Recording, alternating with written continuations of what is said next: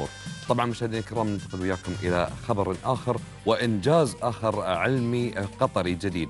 أصبح معهد قطر لبحوث البيئة والطاقة التابع لجامعة حمد بن خليفة أول مؤسسة بحثية في الشرق الأوسط تعمل على تطوير أجهزة هوائيات مقومة توظف تقنية النانو. لمعرفة تفاصيل أكثر مشاهدينا الكرام حول أهم ما حققه المعهد من إنجازات خلال العام وتسليط الضوء على هذا الإنجاز. شوف معكم هذا التقرير ولا نعود مع ضيفنا الكريم؟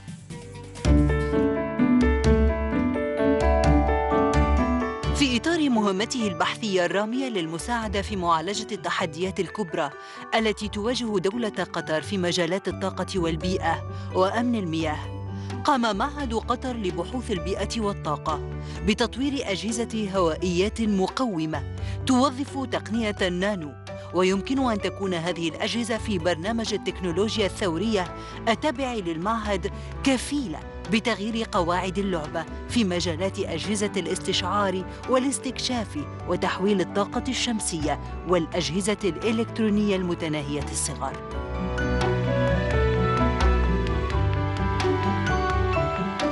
معهد قطر لبحوث البيئة يعمل باستمرار على دعم الجهود التي تبذلها دولة قطر لتحقيق الأهداف في الركيزة البيئية لرؤية قطر 2030 عبر منشآت عالمية المستوى تتضمن مختبرات رئيسة ومختبرات أخرى لتقنيات المايكرو والنانو.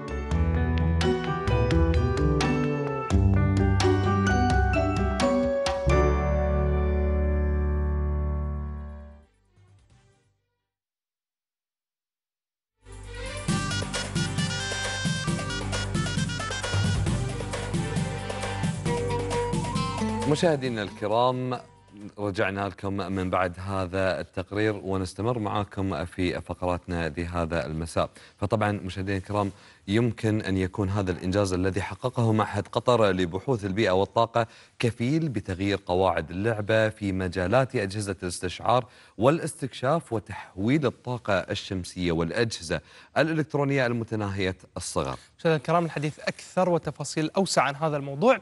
يسعدنا أن يكون معنا في الاستديو في هذه الفقرة الدكتور هشام حمودي وهو مدير برنامج البحوث في برنامج التقنيات الثورية متناهية الصغر بمعهد قطر لبحوث البيئة والطاقة. التابع لجامعة حمد بن خليفة. دكتور مساء الخير وسعداء جدا بتواجدك معنا اليوم في حلقة برنامج حياتنا. مساء الخير وسعيد جدا بوجودي معكم في البرنامج اليوم. يا مرحبا مساء طبعا بداية دكتور نتكلم عن أهمية أن يكون معهد قطر لبحوث البيئة والطاقة أول مؤسسة بحثية في الشرق الأوسط تعمل على تطوير أجهزة هوائيات مقومة توظف تقنية النانو.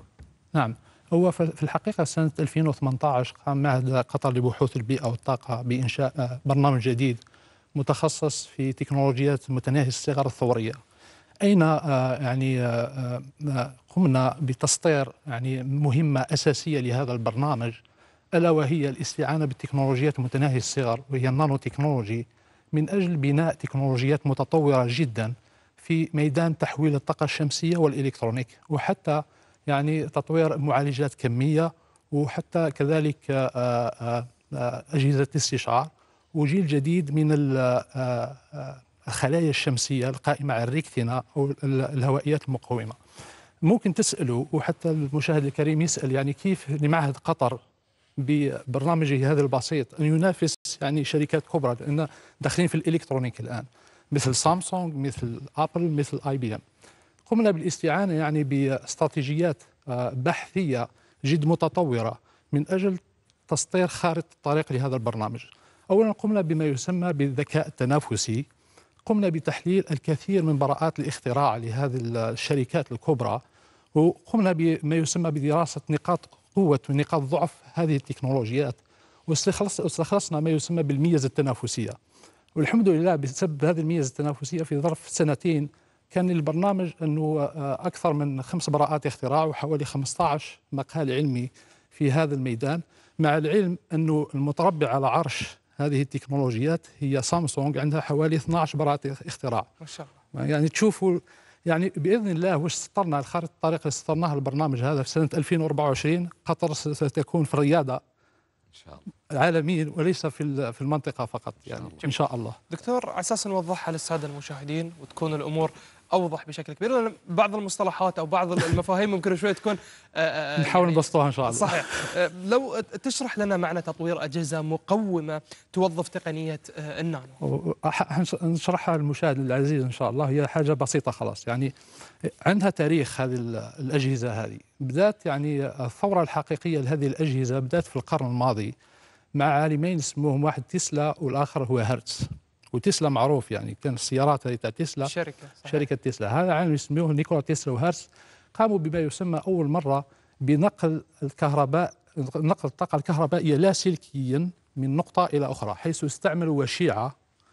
ومع مع- مع الوشيعة هذه حوالي 300 ثلاث أمتار من الوشيعة هذه كرة من نحاس واستطاعوا نقل التيار الكهربائي من الوشيعة إلى النح- النحاس باستعمال ما يسمى WPT أو ال wireless power transmission وشوفوا هذا التجربة هذه والاختراع هذا ما شافش الضوء إلا بعد آه، حوالي ثلاث سنوات أو أربع سنوات. هو الشاحن تاع ال- آه، اللاسلكي لتليفون آه، لل- لل- لل- التلفونات الذكية. نعم. هذا هو يعني بعد قرن شفنا الآن هذا ال- اللي هو بحيث إن شلون بعض الأجهزة اللي هي تنقل الطاقة من ال- المولد الطاقة الأساسي إلى الأجهزة أو الأح- الأشياء اللي محتاجة آه، تنشحن بالكهرباء. نعم. عن بس بعد. لاسلكيا عن بعد. لاسلكيه أنا جاي هذه بداية القرن. تشوفوا يعني يعني الفائدة تاع العلم. في سنة 1963 قامت شركة اسمها ريثون. والآن نهضر نتكلم على طائرات من غير طيار. قاموا بشحن طائرات شحن بطاريات طائرات من غير طيار آه، آه، يعني لاسلكيا باستعمال ما يسمى بامواج الكهرومغناطيسية آه، مايكروويف وكانت يعني مردود حوالي 40% والآن أصبح المردود 90% وبعدها في سنة 1973 قام ال- ال- الدكتور بيلي ببراءة اختراع. وبراءة الاختراع هذه يعني آه، اقترح فيها أنه ممكن آه، نحول الأشعة أشعة الشمس هي عبارة عن أمواج. آه، كهرومغناطيسية إلى كهرباء باستعمال تقنية الريكتينا هذه من 1973 وإحنا ننتظر حتى 1915 حيث قام زميلي في جورجيا تاك اسمه بروفيسور كولا بالبرهان على هذا هذه التقنية أين قام بتحويل في أي سنة الطاقه دكتور تفضل؟ الطاقة الكهربائية الطاقة الش- الشمسية إلى إلى في كهرباء أي سنة دكتور؟ في 2015 2015 يعني براءة الاختراع كانت النظرية في 1900 في 1973 72 وتم البرهان عليها في 1900 2000 2015 والآن بدينا نشوفوا يعني بعض الشركات آه، آه، الناشئة في سيليكون فالي يحاولوا يعني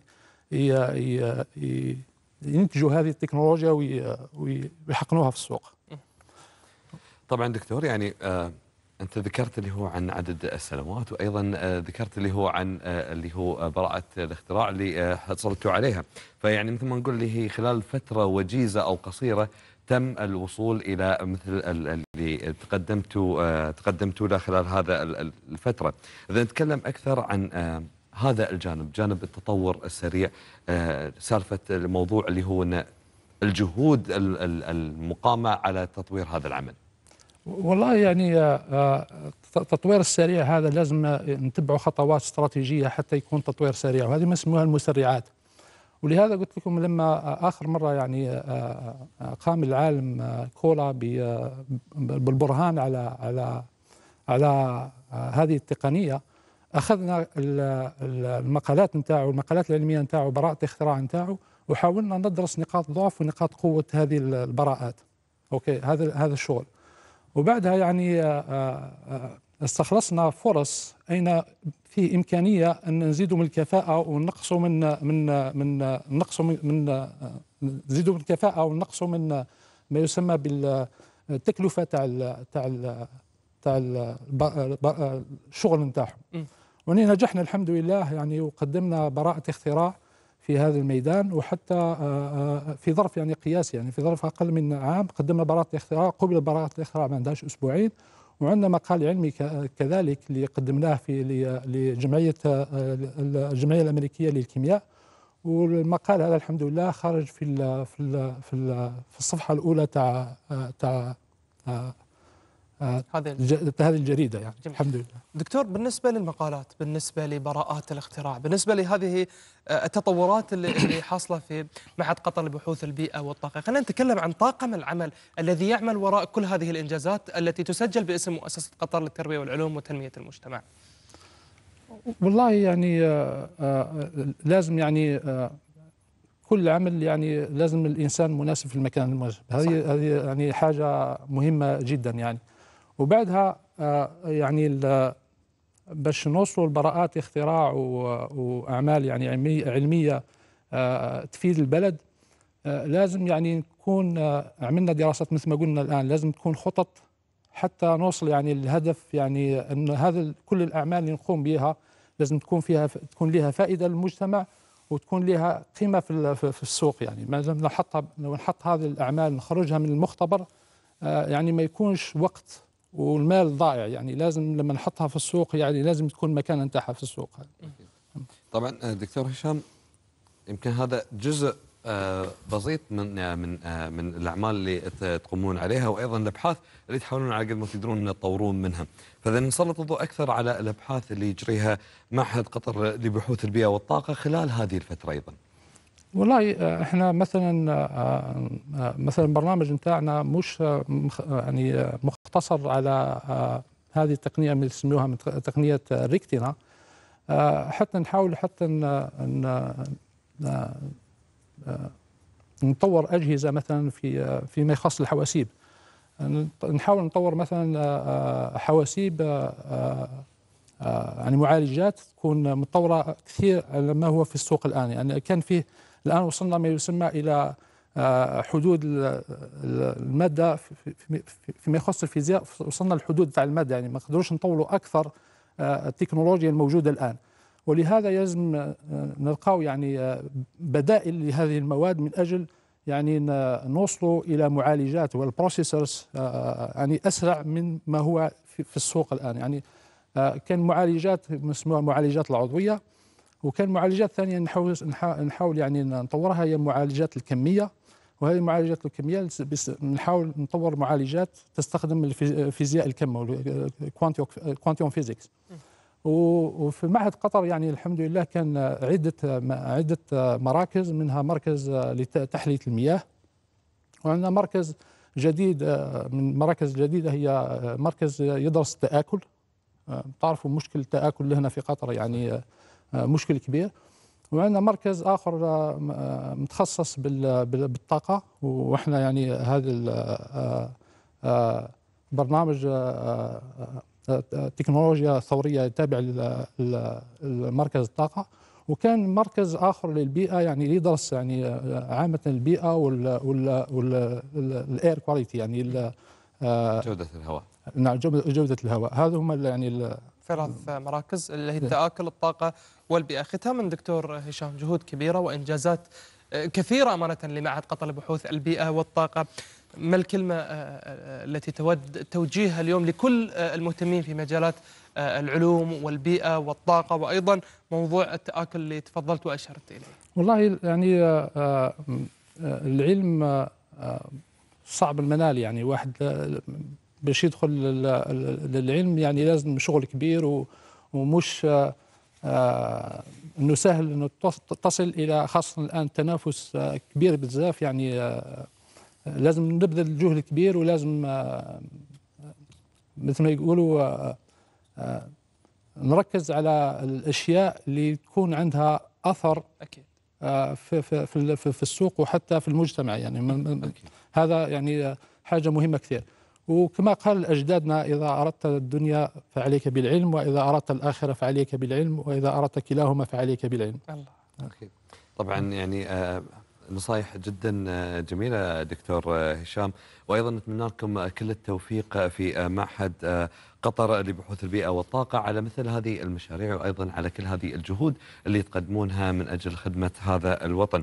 طبعا دكتور هشام حمودي مدير برنامج البحوث في برنامج التقنيات الثورية متناهية الصغر بمعهد قطر لبحوث البيئة والطاقة شاكرين تواجدك معنا اليوم في برنامج حياته حياتنا ونتمنى لكم كل التوفيق يا رب. شكرا جزيلا. كل شكرا. الشكر لك دكتور. إذا فيصل ناخذك وناخذ السادة المشاهدين.